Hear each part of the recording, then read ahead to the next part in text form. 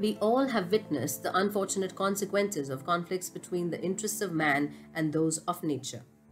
We have so much to learn from our past, and yet we keep ignoring and repeating the same mistakes.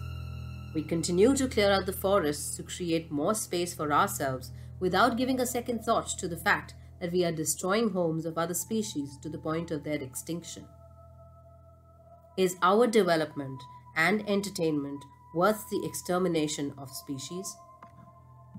Let's begin with the sea mink. Sea minks have recently become extinct. Close relatives to American minks, sea minks lived on the coast of the Atlantic. In 1880, the last year of its existence, the sea mink was taken from an island in the Gulf of Maine.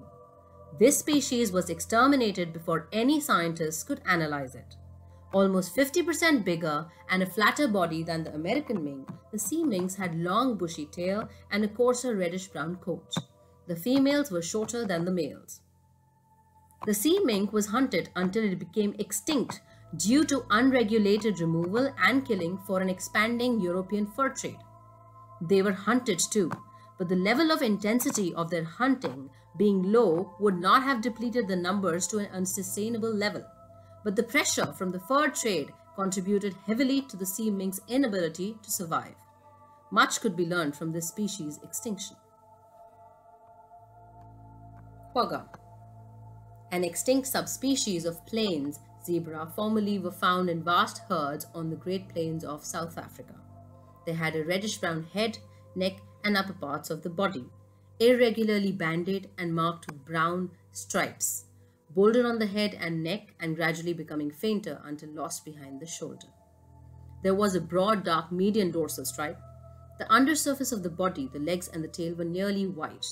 The crest was high, surmounted by a standing mane, banded brown and white. The last known surviving quagga died in the London Zoo in 1872. Planned extermination by the colonists and the ruthless hunting are the major reasons for its extinction. Huia The huia is an extinct species of New Zealand wattlebird endemic to the North Island of New Zealand. The last confirmed sighting of a huia was in 1907, although there were credible sightings in the early 1960s. The main causes for its annihilation were the rampant overhunting for its skin and tail feathers, just for mounted specimens and hat decorations, and the widespread deforestation of the lowlands of the North Island by European settlers to create pasture for agriculture. The forests were ancient and ecologically sustainable, primary forests, and therefore huia were unable to survive in regenerating secondary forests. Passenger pigeon. The extinction of the passenger pigeon is a poignant example of what happens when the interests of man clash with the interests of nature.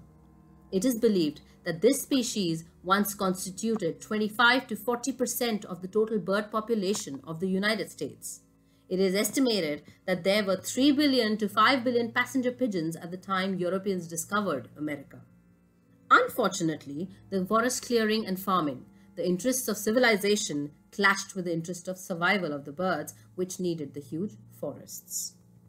Unable to familiarize themselves to existing in small flocks, the passenger pigeons could not adapt, and the civilization prevailed. The wanton slaughter of the birds only raced up the process of their extinction. The converting of forests to farmland eventually wiped off the passenger pigeon. Laughing Owl the laughing owl were exterminated in the early 20th century. The last known bird was found dead on a road at Blue Cliff Station near Timaru in 1914. The laughing owl was called so because of its shrieks that had the quality of a crazed laugh. They made effective hunters of beetles, birds, and lizards. This species had yielded to the clearance of its habitat to create farms and to nearly introduce predators.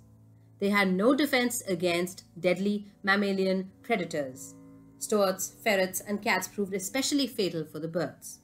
Not only were they the prey of wild mammals, but humans hunted them too, for museum specimens, for curio collections, and for zoos.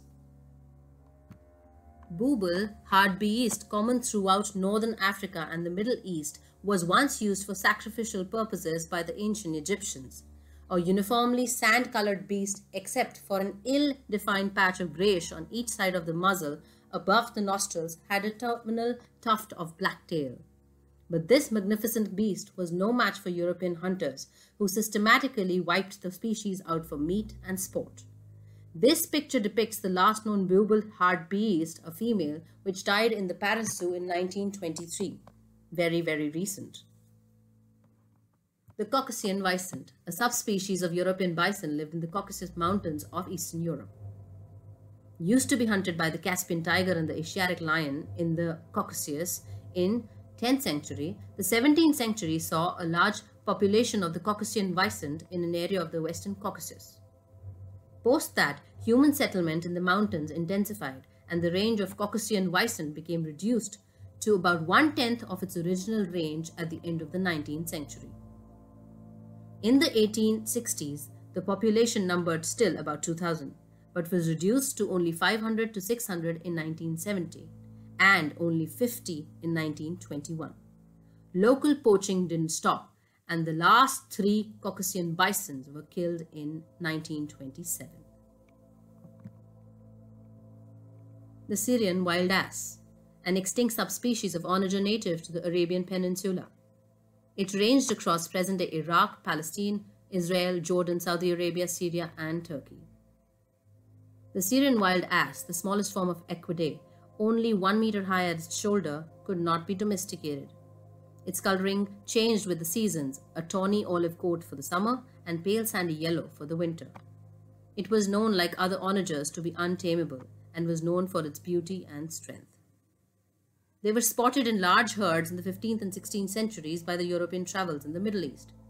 However, due to overhunting, the numbers began to drop drastically in the 18th and 19th centuries. Sadly, the last known wild specimen was fatally shot in 1927 at Al Ghams near the Azraq oasis in Jordan, and as luck would have it, the same year the last captive specimen died in Vienna. The thylacine. The thylacine is a large carnivorous marsupial now believed to be extinct. Also known as the Tasmanian tiger or Tasmanian wolf, the thylacine was mainly nocturnal or semi-nocturnal, but was also out during the day. The animal moved at a slow pace, generally stiff in its movements and hunted singly or in pairs and mainly at night. Although the exact reasons for extinction of the thylacine from mainland Australia are unknown, it appears to have declined as a result of competition with the dingo and possibly hunting pressure from humans. Schomburgk's deer. The Schomburgk's deer were very graceful.